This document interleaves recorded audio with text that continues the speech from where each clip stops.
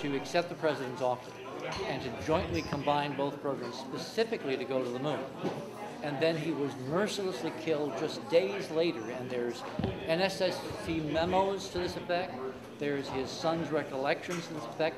And I was able to go back and I was able to find a record of a Russian Cosmos mission that had failed the day before, which apparently was the trigger for the premier to make the decision we cannot do this alone. If we combine our forces, we can use the technological strengths of both nations to do this together. And in, on, on, on, a planet now that is so torn with strife and concern and fear and paranoia, to see that at the height of the Cold War, these two men were statesmen and they were trying to do something on behalf of all the rest of us, to me is so affirming and I'm very glad we found this evidence. The question is, if NASA is a military organization and hide this from American public, why Soviets hide it from Soviet public? I think both cultures believe that this information is going to destroy us, that culturally it was not time.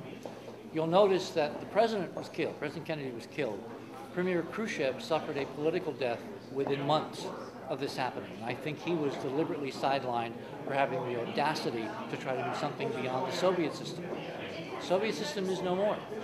There is a new wind blowing in both cultures. Here in the United States, we're looking for a whole new administration, a whole new view forward.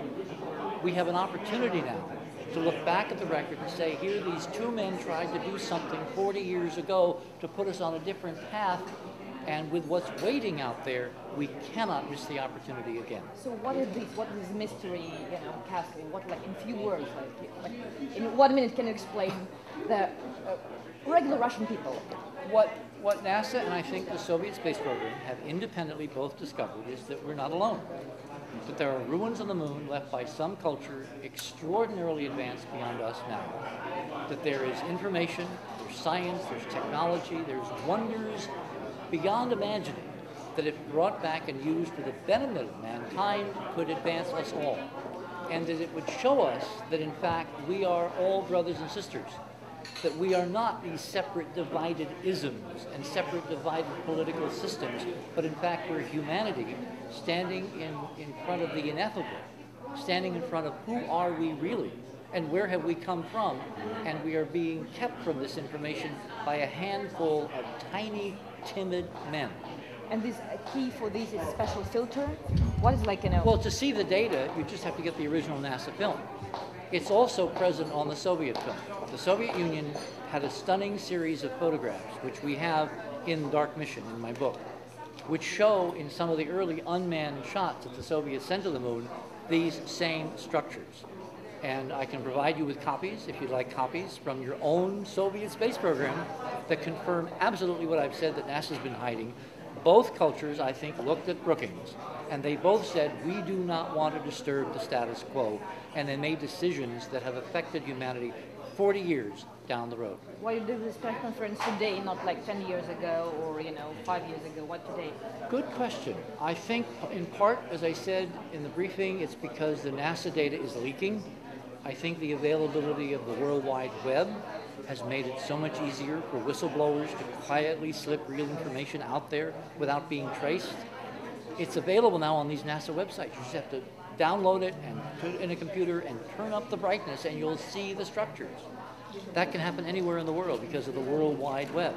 I think it's partly because of technology and its time has come, and partly because both people, both our people, Russian people and the American people, are so absolutely sick to death of being lied to. They want the truth, and the and the and the um, success of Dark Mission, which is now in its fourth printing, and made the New York Times bestseller list only three weeks after being released, I think is a testimony to people's innate need to know the truth and to suspect when they've been lied to. But it's really, I'm sorry, last one. It's like really serious accusation. Like, For example, NASA is a military agency. What do you expect? Like after you now like tell you information, what do you expect the next? You know, do you expect? You mean will the Empire strike back? No, no, any, no, no, no. I mean, any, any. Uh, do you want to appeal to the Congress? Do you want to appeal? Okay. You know? We want. I want the American people to buy my book the documentation of everything we said this morning in less than two hours is in 600 pages with footnote after footnote after footnote. I then want them to demand of the U.S. Congress that we have hearings, congressional hearings, on the idea that NASA is not a civilian agency, that it's really a military agency masquerading as a civilian agency, and it's been hiding all the good stuff from all the rest of us. Then I want to see relations between Vladimir Putin or whoever runs, the, runs Russia and the Americans reopened with the idea of joint missions to the moon, specifically to find what this technology could give all of us and to resume the dialogue that President Kennedy and President Khrushchev began so long ago. Thank you. Thank you very much. Could you please repeat your name? Okay. My name is Richard C. Hoagland. I am head of the Enterprise Mission, which is a private research and public policy group.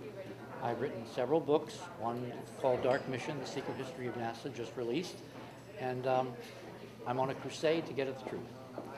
Thank you. Thanks, sir. Thanks so much. You, uh, as a scientist, do you believe in these kind of structures and all these uh, uh, rubber things on the moon?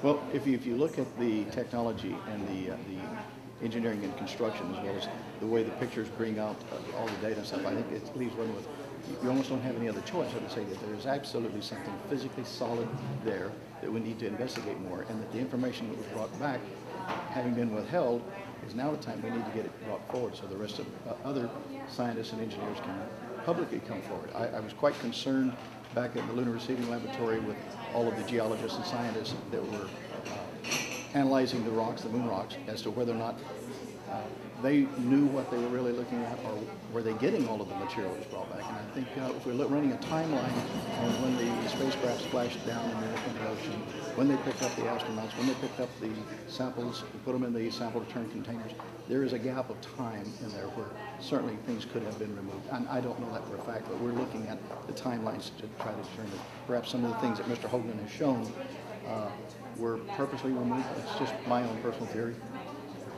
Do you think NASA has been hiding the structures and all information related to that? It all comes back to the Brookings Institute report that was, was published even before we went. And uh, we saw that in, I think, the Philippines when we discovered some Aboriginal people back in the Philippines. And over the period of time, the contact with an advanced, their, their whole culture, society, and everything else totally collapsed.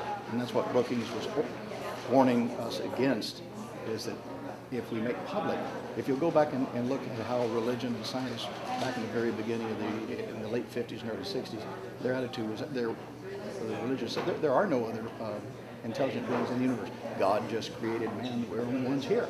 But yet now you go and ask the same questions of the scientists and engineers and religions today, up to 90 plus percent will come and say, oh, absolutely. There's bound to be. It's an awful lot of wasted space if they're not and you was a young man and you saw by your own eyes how the NASA's, you know, uh, staff was brushed the photos. Yes, um, I was about 26 years old. To say I was the youngest uh, test pilot with Grumman at the time. There were five of us. And then when I was over at the Lunar Receiving Laboratory, taking over from uh, Dr. Jeffrey Warner, uh, in my opportunities, I was in and out of the photo lab all the time. Plus, I maintained all the records at the Lunar Receiving Laboratory and all the film and pictures there. Uh, my going in and out of the laboratory, I actually did observe uh, on at least one occasion there where they were brushing it out. And there was another building I went into where it was classified top secret, but having a clearance, I was able to get in there and looking at the selection of the landing sites and the reasons and the timing that we had to go on such a mission to land there was rather interesting. And now going back and looking in retrospect, we can see why they chose those specific sites and, and the timing they had to get there. And one more question, sorry, uh, because it's not a new, you know, version. There are a lot of like conspiracy theories about like moon, even astronauts in the moon.